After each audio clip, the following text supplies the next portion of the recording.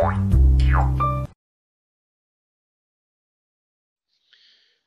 الله والصلاة والسلام على أشرف خلق الله. قال الله تعالى بسم الله الرحمن الرحيم. وأوحى ربك إلى النحل أن اتخذي من الجبال بيوتا ومن الشجر ومما يعرشون. ثم كلي من كل الثمرات فاسلكي سبل ربك ذللا. يخرج من بطونها شراب مختلف ألوانه فيه شفاء. يخرج من بطونها شراب مختلف ألوانه فيه شفاء للناس. إن في ذلك لآية لقوم يتفكرون وروى البخاري عن ابن عباس رضي الله عنهما قال قال رسول الله صلى الله عليه وسلم الشفاء في ثلاث شربة عسل وشرطة محجم وكية نار وأنهي أمتي عن الكي. ومن سنن ابن ماجه مرفوعا من حديث أبي هريرة رضي الله عنه قال رسول الله صلى الله عليه وسلم من لعق ثلاث غدوات كل شهر لم يصبه عظيم بلاء وروى البخاري ومسلم في صحيحيهما. أن رجلا جاء إلى النبي صلى الله عليه وسلم فقال إن أخي استطلق بطنه. فقال رسول الله صلى الله عليه وسلم أسقه عسلا فسقاه. ثم جاء فقال إني سقيته عسلا فلم يزده إلا استتلاقا فقال له ثلاث مرات. ثم جاء الرابعة فقال أسقه عسلا لقد سقيته فلم يزده إلا استتلاقا فقال رسول الله صلى الله عليه وسلم صدق الله وكذب بطن أخيك. فسقاه فبرئ. ما معنى الاستطلاق؟ أي الإسهال. وعن ابن مسعود رضي الله عنه قال قال رسول الله صلى الله عليه وسلم عليكم بالشفاءين العسل والقرآن. وينصح بأن نلجأ إلى الشفاء بالعسل والقرآن. معا. أي نقرأ على العسل المذاب في الماء شراب العسل. سورة الفاتحة سبعة مرات. والآية فيه شفاء للناس سبع مرات. فإن هذا الشراب سيتأثر بتلاوة القرآن وتزيد فاعليته. والله أعلى وأعلم. بسم الله والصلاة والسلام على رسول الله استخدامات العسل العلاجية وفوائد العسل الطبية لكل محب العسل في هذا الفيديو تعرف على أهم فوائد العسل العلاجية والطبية وأيضا أهم الاستخدامات الطبية والعلاجية للعسل حصريا على قناة مدرسة التمريض والطب ولم لا وقد ذكره الله سبحانه وتعالى في القرآن الكريم وفي سنة رسولنا الكريم في أحاديث نبوية كثيرة وبينت الدراسات أهمية العسل في علاج جميع المشكلات الطبية ودوره في علاج جميع الأمراض.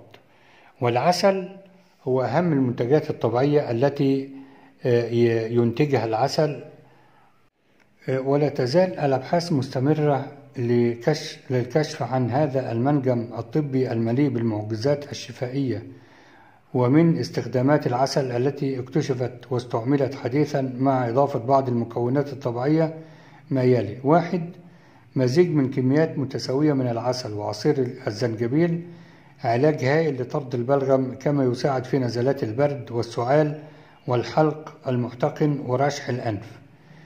مع مرضى أزمة الربو يخلط نصف كيلو من مسحوق الفلفل الأسود مع العسل وعصير الزنجبيل ويشرب هذا المشروب عدة مرات على مدار اليوم. آه، حالات الإسهال يستخدم عن طريق وضع كمية من ماء الشعير مع العسل ثم تناوله على جرعات متكررة. حالات القلق والتوتر يستخدم عن طريق عمل منقوع البابونج ومنقوع للنعناع ومن ثم تحليته بالعسل وتناول المشروب مساء. حالات الجروح والحروق يستخدم بمزج كمية من العسل مع الدقيق ثم وضعه كريم موضعي لعلاج الحروق والجروح. حالات السعال الشديدة عن طريق وضع ملعقة كبيرة من العسل مع ملعقة كبيرة من الليمون ثم مزج المكونات جيدا وتناوله في أي وقت. حرقان القلب عن طريق تناول ثلاث ملاعق كبيرة منه يوميا وعلاج الأرق وذلك عن طريق عمل مزيج من خل التفاح والعسل ثم وضعه في وعاء زج- زجاجي وتناول ملعقة كبيرة منه قبل النوم للتغلب على الأرق وتناول ملعقة أخرى في حال استمرار الأرق بعد نصف ساعة. والعسل هو أحد المنتجات الطبيعية التي ينتجها النحل آه، ويتميز باحتوائه على الكثير من العناصر الغذائية الهامة للجسم مثل الف- الفيتامينات والمعادن والجلوكوز وسكر الفركتوز بالإضافة لمجموعة من الأحماض الأمينية والإنزيمات كما أن له العديد من الخصائص العلاجية ويستخدم في تحضير بعض المستحضرات التجميلية. ويعتبر العسل مغذي طبيعي يزود الجسم بالطاقة وينتج من رحيق الأزهار بواسطة النحل ويمتلك خصائص تقتل وتثبط بقاء وتكاثر الجراثيم التي تنتقل إلى العسل من النباتات والنحل والغبار أثناء إنتاجه ومعالجته. والقيمة الغذائية للعسل عالية جدا حيث يحتوي على سعرات حرارية وماء وكربوهيدرات وبروتين ودهون وألياف وكالسيوم وبوتاسيوم وفسفور وحديد وصوديوم. بينشط الجهاز المناعي لأنه بيحتوي على مضاد الأكسدة المهم وبيسمى البوليفينول والذي يقي من كثير من الأمراض ويحافظ العسل على صحة القلب والوقاية من السرطان. منتجات خلية النحل وفوائده. إضافة إلى العسل هناك منتجات أخرى لخلية النحل يمكننا استخدامها وتشمل سم النحل وشمع النحل وغذاء الملكات ومسحوق حبوب لقاح النحل وصمغ العسل والعكبر. ولكل واحدة منها تأثير بالغ الأهمية على العمليات المختلفة التي تحصل في جسمنا بسبب مركباتها المتميزة. فعلى سبيل المثال سم النحل يتميز سم النحل بخصائص سترودية نظرا لتأثير المضاد للالتهابات ويحتوي على أحماض أمينية وعديم اللون وشفاف وطعمه مر. ويتم استخدام سم النحل في شفاء الجروح فقط بعد أن يتم إجراء فحص. يثبت أن المريض لا يعاني من حساسية لسم النحل. الاستخدامات الطبية لسم النحل في بعض الاستخدامات في حالة الإصابة لجهاز الأعصاب يعمل سم النحل بطريقة مماثلة لعمل البروستاجلاندين التي لها وظائف عديدة في جسم الإنسان منها فهو يخفف الالتهابات الموجودة في المفاصل والحمى ومضاد للالتهابات وأمراض القلب والأوعية الدموية ويؤدي سم النحل إلى تنشيط الدورة الدموية. تاني حاجة صمغ العسل أو العكبر. العكبر عبارة عن مضاد حيوي طبيعي يقوم النحل بإنتاجه ويكون ثمرة لعمليات الأيض التي تحصل في جسم النحل. والعكبر مكون من الراتنج والشمع والزيوت الأثيرية ومسحوق حبوب اللقاح النحل والفيتامينات فيتامين إي وبي واحد وبي اتنين وبالمعادن مثل الحديد والكالسيوم والمغنيسيوم والألمنيوم والزنك. ويحافظ العكبر على خلية النحل من المخاطر نظرا لخصائصه المضادة للجراثيم ويحمي البشرة, البشرة من مخاطر العدوى والأمراض الجرثومية والفيروسات والعفن ويؤثر بشكل إيجابي على عمليات استقلاب الكالسيوم والفوسفور في الجسم. الاستخدامات الطبية العكبر له تأثير مضاد للجراثيم والالتهابات ويساهم في خفض ضغط الدم ومستوى الكوليسترول المرتفع ويحارب جراثيم المكورات العنقودية الذهبية التي تتكاثر في الرئتين والكليتين ويساعد في معالجة الجروح الصعبة والحروق. ويمكن من شفاء أمراض نسائية عن طريق وضع مرهم أو محلول من العكبر بشكل موضعي في المناطق المصابة. وبيساهم في علاج المعدة والأمعاء ويتم استخدام زيت العكبر على أساس زيت الزيتون. ويساهم في معالجة أمراض الأنف والأذن والحنجرة ثالث مكون من مكونات خلية النحل غذاء الملكات. غذاء الملكات عبارة عن حليب ينتجه النحل الذي لا يستطيع أن يطير والذي يطلق عليه اسم النحل المرضع ويلعب غذاء الملكات دورا هاما في تطوير ونمو النحلة الأم اللي هي الملكة. آه هذا الغذاء يعطي للملكات فقط. بسبب تأثير غذاء الملكات تستطيع الملكة أن تضع عددا كبيرا جدا من البيض. ويحتوي غذاء الملكات على 24% من الماء و31% من البروتينات و15% دهنيات و15% كربوهيدرات وفيتامينات زي فيتامين إي وبي واسيتايل كولين وإنزيمات هاضمة ويستخدم فيتامين إي بمثابة مادة مضادة للأكسدة للحفاظ على غذاء الملكات من خطر الأكسدة والتلف. الاستخدامات الطبية لغذاء الملكات زيادة الشهية وزيادة نسبة الهيموجلوبين ويساعد في معالجة التهابات المفاصل وخفض نسبة الكوليسترول وتعزيز وتقوية جهاز الأعصاب ويمنع الاكتئاب وله تأثير مهدئ. رابع مكون من مكونات خلية النحل مسحوق حبوب اللقاح النحل. وده عبارة عن عنصر ذكوري للأظهار يجتمع على أقدام النحل عند انتقاله من زهرة إلى زهرة أخرى وله تأثير ابتنائي.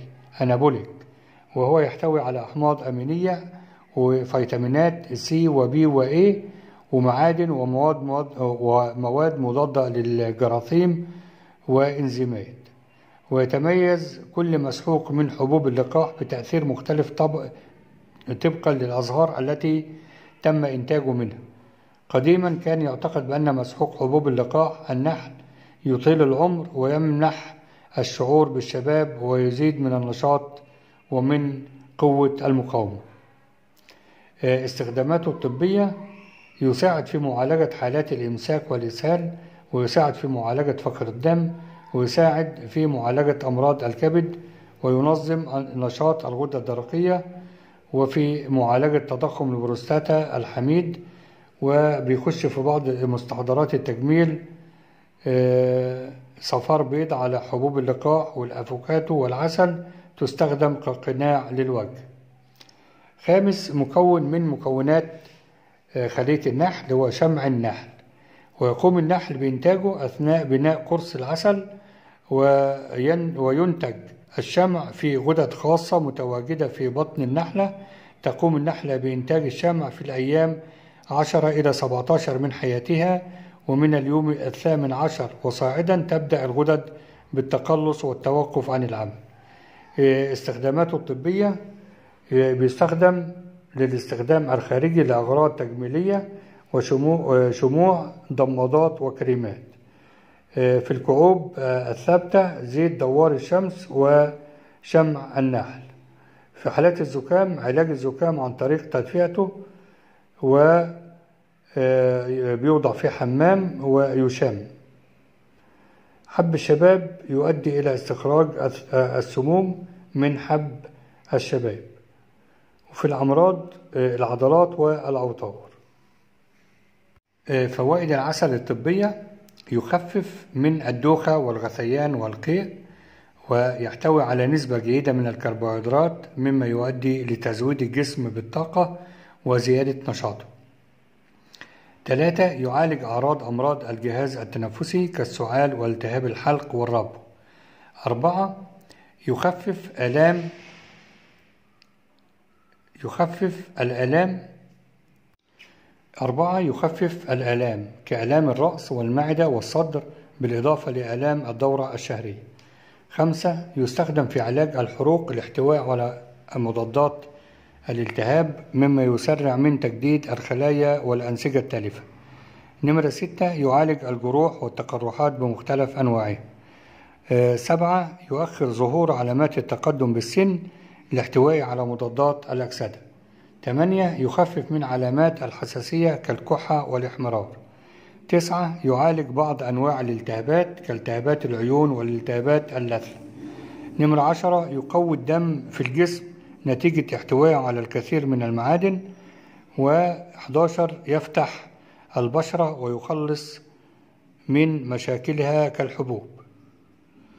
النمرة 12 يعمل على تقليل نسبة الكوليسترول الضار في الجسم بالإضافة للدهون الثلاثية مما يساعد على الحفاظ على صحة القلب وحمايته من الإصابة ببعض الأمراض كتصلب الشرايين والجلطات. 13 يعمل على تقوية مناعة الجسم وحمايته من الإصابة بالأمراض السرطانية نتيجة احتوائه على مضاد- مضادات الأكسدة. 14 يقي من الإصابة بهش- بهشاشة العظام. آه، 15 يعالج اضطرابات الجهاز الهضمي كتقرحات القولون والمعدة والإسهال والبواسير كما يخلص من الميكروبات والبكتيريا التي تسبب آه، الالتهابات بالأمعاء ويحسن مستوى السكر في الدم وبالتالي يحمي مرضى السكر من اضطرابات السكر. آه، يعالج نمرة 16 يعالج العقم والضعف الجنسي ومشاكل التخصيب بالإضافة لتقوية الحيوانات المنوية. نمرة 17 يساعد على خسارة الوزن لدوره في حرق الدهون. آه، آه، عسل النحل هو علاج شامل لجميع الأمراض. ولا تزال الأبحاث مستمرة لكشف للكشف عن هذا المنجم الطبي المليء بالمعجزات الشفائية ومن استخدامات العسل التي اكتشفت واستعملت حديثا مع إضافة بعض المكونات الطبيعية ما يلي. واحد مزيج من كميات متساوية من العسل وعصير الزنجبيل علاج هائل لطرد البلغم كما يساعد في نزلات البرد والسعال والحلق المحتقن ورشح الأنف.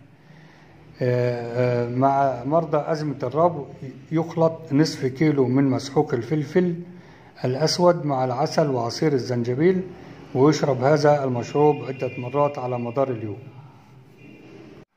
آه، حالات الإسهال يستخدم عن طريق وضع كمية من ماء الشعير مع العسل ثم تناوله على جرعات متكررة. حالات القلق والتوتر يستخدم عن طريق عمل منقوع البابونج ومنقوع للنعناع ومن ثم تحليته بالعسل وتناول المشروب مساء. حالات الجروح والحروق يستخدم بمزج كمية من العسل مع الدقيق ثم وضعه كريم موضعي لعلاج الحروق والجروح. حالات السعال الشديدة عن طريق وضع ملعقة كبيرة من العسل مع ملعقة كبيرة من الليمون ثم مزج المكونات جيدا وتناوله في أي وقت. حرقان القلب عن طريق تناول ثلاث ملاعق كبيرة منه يوميا وعلاج الأرق وذلك عن طريق عمل مزيج من خل التفاح والعسل ثم وضعه في وعاء زجاجي وتناول ملعقة كبيرة منه قبل النوم للتغلب على الأرق بالإضافة لإمكانيته آه، تناول ملعقة أخرى في حال استمرار الأرق بعد نصف ساعة. والعسل له دور آه، فعال جدا ومميز في الوقاية من السرطانات لأنه يحتوي على الفيتامينات والمواد المضادة للأكسدة.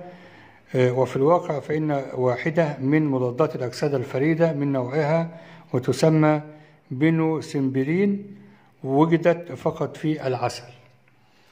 آه، ومن المعروف أن مضادات الأكسدة لها دور كبير في الوقاية من السرطان. ومنع تكاثر الخلايا السرطانية وخاصة في حالات سرطان المريء والفم والأمعاء والمعدة. آه، بينشط الجهاز المناعي لأنه بيحتوي على مضاد الأكسدة المهم وبيسمى البوليفينول والذي يقي من كثير من الأمراض ويحافظ العسل على صحة القلب والوقاية من السرطان. آه، بالنسبة لآلام المفاصل اتنين كوب ماء دافئ مع معلقتين من العسل ومعلقة صغيرة من القرفة صباحا ومساء لتخفيف آلام المفاصل وشفائها آه، فقدان الشعر ضع معلقة صغيرة عس- صغيرة عسل مع فنجان زيت زيتون مغلي ومعلقة صغيرة قرفة واصنع مزيجا ضعه على الشعر قبل الاستحمام بربع ساعة أو خمس دقائق سيتوقف الشعر عن التساقط ويعود إليه الأمعان وحيويته علاج العقم والضعف الجنسي آه، تناول معلقتين من العسل يوميا قبل النوم. آه، بالنسبة آه، للغازات وفقا لدراسات في اليابان بأن تناول ملعقة من العسل ومعلقة من القرفة يوميا قبل تناول الطعام يشفي من الغازات وانتفاخ البطن. بالنسبة للإنفلونزا أثبت عالم أسباني بأن تناول معلقة من العسل مع معلقة آه، من القرفة يمنع الإصابة بالإنفلونزا أو يخفف من أعراضها. آه، الشيخوخة المبكرة أربع ملا- ملاعق عسل ومعلقة قرفة وثلاث أكواب ماء آه، بتغلي وبيتاخد ربع كوب ثلاثة أو أربع مرات يوميا ينعش الجلد والبشرة ويوقف الشيخوخة المبكرة.